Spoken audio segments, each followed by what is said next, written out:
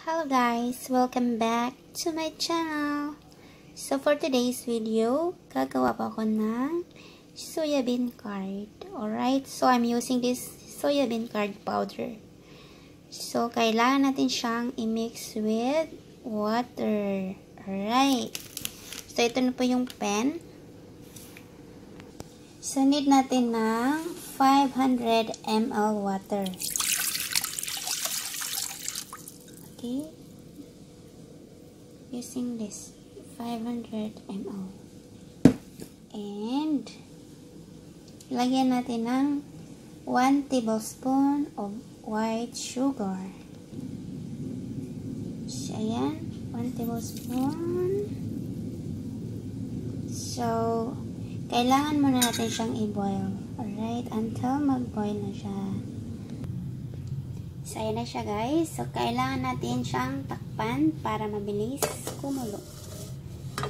Alright. Tsaka natin nilagay yung bean curd powder natin. So, ayan na guys. Kumulo na yung water natin. Lagyan na natin yung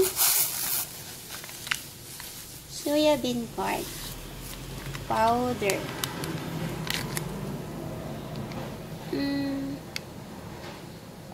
Alright. So, kailangan natin siyang i-mix ng maayos para hindi siya mag manigas-tigas dyan.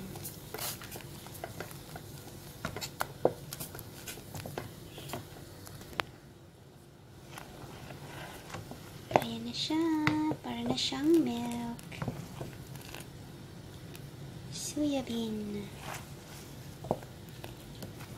Tapos, ilagay natin siya sa fridge about um, 5 hours.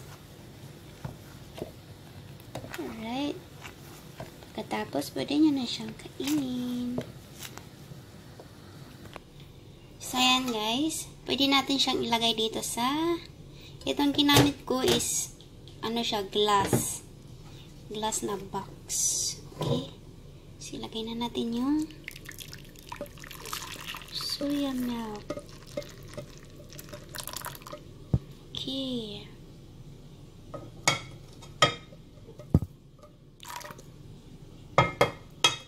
Ilagay natin siya sa fridge in a few hours. Maybe 5 hours, 4 hours, like that one. Alright.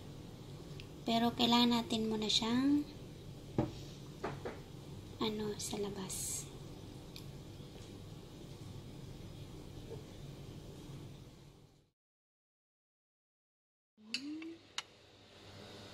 Ayan.